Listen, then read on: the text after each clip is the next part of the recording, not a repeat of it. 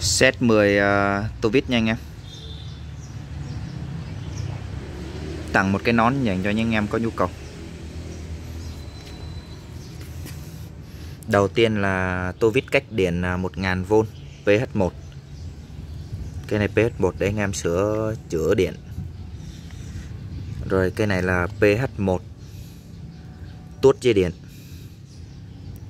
Anh em à, có cả tuốt dây điện ở đây nha anh em kèm theo là lỗ để anh em à, bỏ dây điện vào rút. Tiếp theo là PS2 đây là PS2 là dành cho những em nào mà vằn vít thông dụng này, cũng có tuốt dây điện này, dành cho những em sửa điện. PS3 cách điện 1000V đầu PS3 nha anh em. PS1 PS2 PS3 và mũi dẹt. Mũi dẹt này thì à, 3 phần 16 tương đương 4,8 mm. Mũi dẹt dài. Rồi, mũi dẹt 3 phần 16 cũng à, 4,8mm loại cách điện. Đây mũi dẹt cách điện.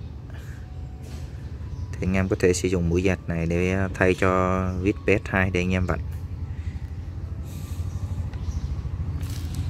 Rồi, đây là vít đóng vít này là vít đóng này vít dẹt đóng. À, 7,9 mm để anh em à, sử dụng. Vít này thì cứng cáp để anh em à, đóng được luôn. Lấy búa đóng phía trên. Còn tiếp theo là vít à, 1000V à, 9,5 mm 3 phần 8 vít này vít lớn.